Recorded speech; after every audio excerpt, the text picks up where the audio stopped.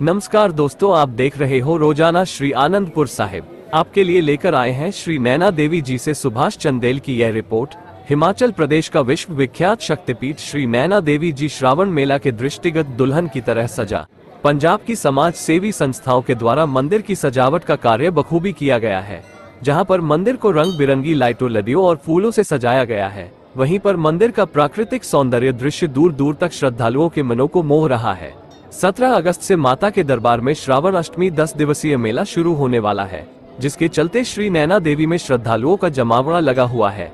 हालाँकि मौसम बरसात का है और आसमान पर बादल छाए हुए हैं, धुंध से पहाड़ियाँ ढकी है। लेकिन श्रद्धालुओं की आस्था में किसी प्रकार की कमी नज़र नहीं आ रही। भारी संख्या में श्रद्धालु माता के दरबार में लगातार पहुँच रहे हैं।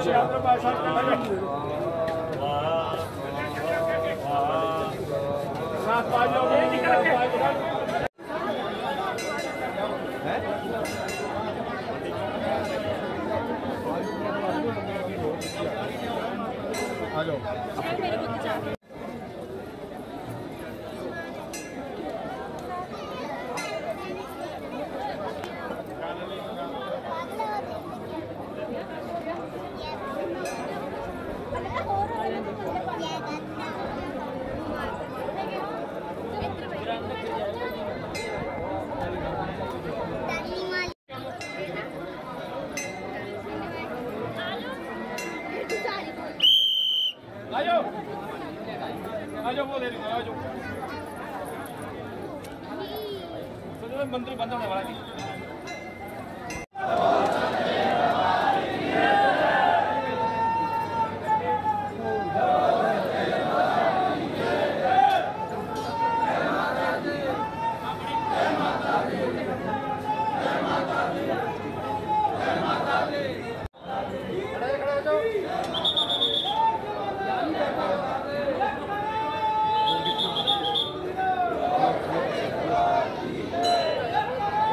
चलो आगे चलो चलो